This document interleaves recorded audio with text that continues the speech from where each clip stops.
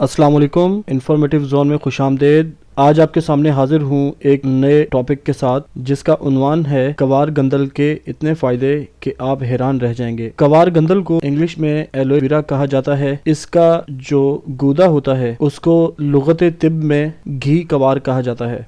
ज़माना कदीम में मिस्र में कवार गंदल को इन्फेक्शन के इलाज, ख़राब जल्द और बतौर जलाब आवर दवा के इस्तेमाल किया जाता था। जल्द की हिफाजत करने वाली कॉस्मेटिक्स मसनूआत अपने प्रोडक्ट्स में कवार गंदल का जुज शामिल होने का दावा करती हैं। ये नई ईजाद नहीं है, बल्कि इसका इस्तेमाल हज़ारों साल कबल से किया जा रहा है। ऐसा भी कहा और माना जाता है कि मिस्र की मलका बेहतर सेहत और अपनी खूबसूरती बरकरार रखने की गर्ज से कवार गंदल क्रीम का इस्तेमाल करती थीं। कदीम तबीबों ने भी कवार गंदल में मौजूद कई अद्वियाती फ़वाद की वजह से इसका इस्तेमाल किया। हमारे पड़ोसी मुल्क हिंदुस्तान में नामवर तबीब दूसरी अद्विया के साथ साथ कवार गंदल को जुलाब लाने और एक्जिमा यानी सोजिश जल्द या खारिश के इलाज के लिए इस्तेमाल करते थे। तिब्ब अरब में सर दर्द से निजात हासिल करने के लिए कवार गंदल के ताज़ा जल से पेशानी पर मालिश की जाती है।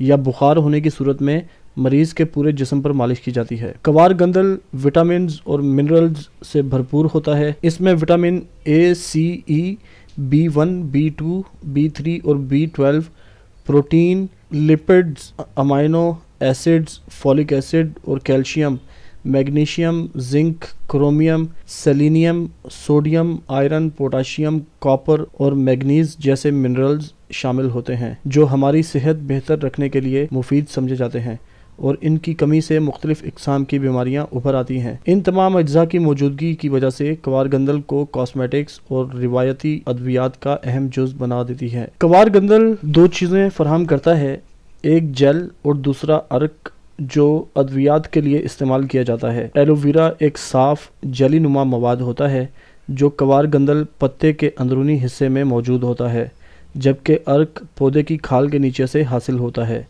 जिसका रंग जर्द होता है। जिसम से फासिद मादे खारिज करता है।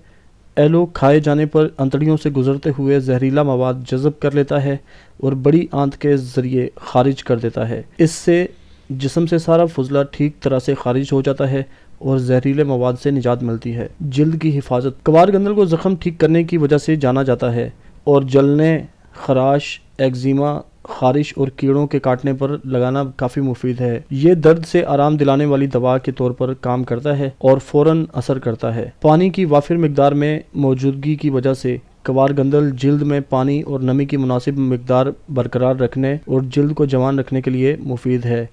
ये जिसम के टिश्यूज़ को भी सुकेड़ देता है जिससे खसूसी तौर पर मामूली खराशों से खून के बहाव को कम करने में मदद मिलती है। जिसम का कोई हिस्सा जल जाए तो इस पर कवार गंदल लगाने से दर्द कम हो जाता है और जलन खत्म हो जाती है। सोजिश को कम करता है कवार गंदल में चंद ऐसे कुदरती अज्जा मौजूद होते हैं, जो सोजिश को कम करने या रोकने में मदद फराहम करते हैं। बैरूनी सतह पर कवार गंदल की जल लगाने से पट्टों का तनाव खत्म होता है और अकड़न के बायस होने वाले जोड़ों के दर्द में आराम मिलता है। ये जोड़ों की लचक बेहतर करने में भी मदद देता है, मगर ये सारा राज ताज़ा तैयार करदा जल के इस्तेमाल में मौजूद है। हाजमे में मदद। कवार गंदल निज़ाम हाजमा की सफ़ाई और हाजमा बेहतर बनाने की वजह से जाना जाता है। एक दिलचस्प बात यह है कि कवार गंदल, कब्ज़ और डायरिया दोनों के लिए मददगार साबित होता है। ऐसा इसलिए है क्योंकि ये अखराजी निज़ाम को जारी रखने में मदद करता है। अब आपको बताते हैं कि एलोवेरा से, यानी कवार गंदल से आप किस तरह से वज़न कम कर सकते हैं। एलोवेरा का रस एक आसान और कुदरती तौर पर वज़न कम करने वाला महलूल है।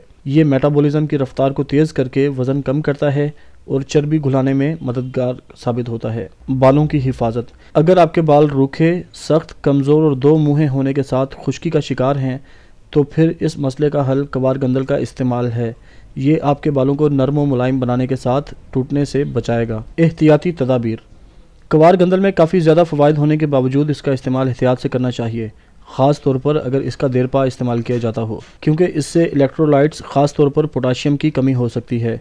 इसके अलावा दौरान हमल ख़वान के मखसूस अयाम के दौरान, और अगर किसी को बवासीर या जिगर या पित्ता की बीमारी है तो भी कवार गंदल के इस्तेमाल से परहेज़ करना चाहिए। नाजरीन, हमारे चैनल को सब्सक्राइब करें और हमारी वीडियो को ज़्यादा से ज़्यादा शेयर करें। वीडियो देखने का बहुत शुक्रिया। अल्लाह हाफिज़।